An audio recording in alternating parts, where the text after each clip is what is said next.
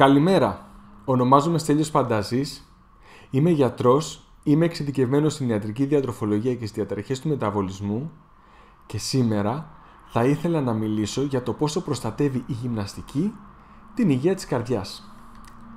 Υπάρχουν δύο είδη ανθρώπων. Αυτοί που περνάνε ωραία όταν κάνουν γυμναστική και αυτοί που περνάνε ωραία μόλις τελειώσει η γυμναστική.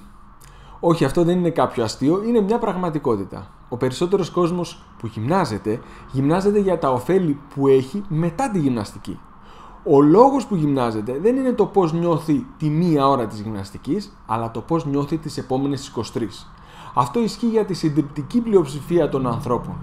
Υπάρχει όμως μια μικρή ομάδα ανθρώπων για τους οποίους ισχύει το αντίθετο. Διασκεδάζουν πάρα πολύ τη στιγμή της γυμναστικής και μετά τη γυμναστική δεν διασκεδάζουν τόσο πολύ ή ακόμα και μετρούν τις ώρες με προσμονή μέχρι να ξαναρχίσουν τη γυμναστική. Εγώ ανήκω στη δεύτερη κατηγορία. Η γυμναστική μου προκαλεί μεγάλη ευχαρίστηση και μετά τη γυμναστική το μόνο που σκέφτομαι είναι πότε θα ξανακάνω γυμναστική. Σε αυτή την κατηγορία ανήκουμε πάρα πολύ λίγοι άνθρωποι. Έτσι εκμεταλλεύομαι τη γυμναστική για να έχω μια όμορφη καθημερινότητα. Αυτή η μικρή εισαγωγή έγινε για να σας πω ότι εγώ λατρεύω τη γυμναστική αλλά νομίζω ότι υπάρχουν κάποιοι ειδικοί που υπόσχονται ότι η γυμναστική μπορεί να κάνει πολλά περισσότερα από αυτά που πραγματικά μπορεί να κάνει για την υγεία σας. Οι μελέτες δείχνουν ότι τα ωφέλη από την άσκηση μεγιστοποιούνται μετά από 2 με 3 ώρες τη βδομάδα και ουσιαστικά από εκεί και πέρα, αν ο στόχος σας είναι η καλή υγεία, δεν έχει νόημα κάποιος να προσπαθήσει πολύ περισσότερο και να αφιερώσει περισσότερο χρόνο. Πρόσφατα δημοσιεύθηκε άλλη μια μελέτη που δείχνει ακριβώς αυτό. Πάμε να τη δούμε λίγο καλύτερα. Η μελέτη δεν ήταν αρκετά μακροχρόνια σε διάρκεια ώστε να μας δείξει την υγεία της καρδιάς, αλλά μελέτησε τους τρεις σημαντικότερους παράγοντες κινδύνου που σχετίζονται με την υγεία της καρδιάς. Την πίεση, το ζάχαρο και τη χολυστερίνη. Η μελέτη εξέτασε τη συχνότητα αυτών των τριών σημαντικών παραγόντων κινδύνου για την υγεία της καρδιάς σε άτομα ανάλογα με το βάρος τους και το επίπεδο δραστηριότητας. Θα ήταν πολύ ενδιαφέρον να δούμε σε βάθος χρόνου αν αυτό μεταφράζεται σε λιγότερα εμφράγματα και άλλες παθήσεις της καρδιάς, αλλά για την ώρα οι παράγοντες κινδύνου που έχουμε στα χέρια μας είναι κάτι αρκετά σημαντικό. Στη μελέτη δημοσιεύθηκε αυτό το εξαιρετικό διάγραμμα που βλέπετε τώρα στις οθόνες σας. Εδώ βλέπουμε ότι οι συμμετέχοντες της μελέτης έχουν χωριστεί σε τρεις ομάδες.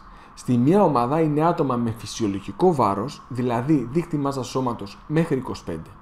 Στην επόμενη στήλη είναι άτομα υπέρβαρα, δηλαδή δίκτυ μάζας σώματος μέχρι 30. Ενώ στην τρίτη στήλη είναι άτομα που έχουν δίκτυ μάζας σώματος από 30 και πάνω. Τώρα η κάθε στήλη χωρίζεται σε τρεις υποστήλες, ανάλογα με το επίπεδο δραστηριότητας που ανέφεραν οι συμμετέχοντες. Αριστερά είναι τα άτομα τα οποία ορίστηκαν ως δραστήρια, τα άτομα δηλαδή που γυμνάζονται όσο συστήνουν οι κατευθυντήρε οδηγίες. Ενώ τα άτομα που είναι δεξιά είναι τα άτομα τα οποία δεν γυμνάζονται καθόλου.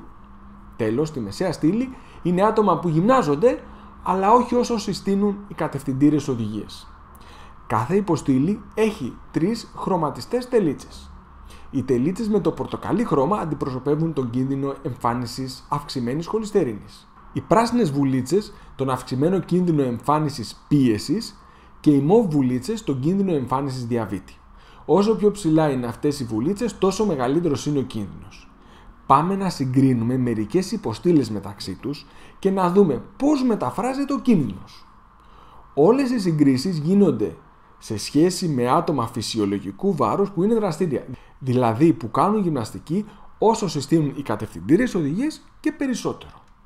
Θα ξεκινήσω με τη σύγκριση ατόμων φυσιολογικού βάρους που γυμνάζονται σύμφωνα με τις κατευθυντήριες οδηγίες σε σχέση με άτομα που δεν γυμνάζονται καθόλου αλλά έχουν φυσιολογικό βάρος. Από εδώ φαίνεται ότι ο κίνδυνος αυξημένης εμφάνισης χολυστερίνης είναι υπαρκτός, αλλά μικρός, περίπου 10%. Αντίθετα, η πιθανότητα εμφάνισης διαβήτη είναι αρκετά αυξημένη, περίπου 41%. Ο κίνδυνος εμφάνισης υπέρτασης είναι κάπου ενδιάμεσα. Α συγκρίνουμε τώρα ένα άτομο φυσιολογικού βάρους, το οποίο δεν γυμνάζεται, με ένα άτομο υπέρβαρο, αλλά όχι παχύσαρκο, που γυμνάζεται σύμφωνα με τις κατευθυντήρε οδηγίες. Εδώ βλέπουμε ότι η αυξημένη πιθανότητα χολυστερίνης είναι πολύ μεγαλύτερη.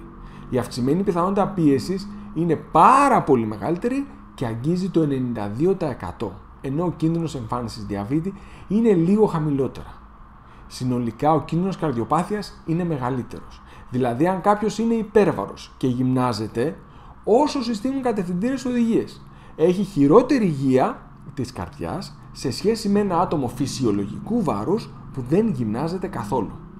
Πάμε να μεταφέρουμε τη σύγκριση σε άτομα παχύσαρκα. Πόσο προστατεύει η γυμναστική την υγεία της καρδιάς ενός ατόμου με παχυσαρκία; Εδώ βλέπουμε ότι οι βουλίτσες φτάνουν πάρα πολύ ψηλά. Οι πράσινες και οι μοβ βούλες που δείχνουν την πιθανότητα εμφάνισης πίεσης και διαβήτη είναι πάρα πολύ ψηλότερα και δείχνουν ότι η πιθανότητα εμφάνισης πίεσης δείχνει ότι είναι αυξημένη 500% και η πιθανότητα εμφάνισης πίεσης 350%. Ακόμα και τη σύγκριση να κάνουμε ανάμεσα σε παχύσαρκα άτομα που γυμνάζονται ή δεν γυμνάζονται καθόλου, θα δούμε διαφορές, οι οποίες όμως είναι μικρές σε σχέση με τα άτομα που έχουν χαμηλό βάρος ή ακόμα και με άτομα που είναι υπέρβαρα.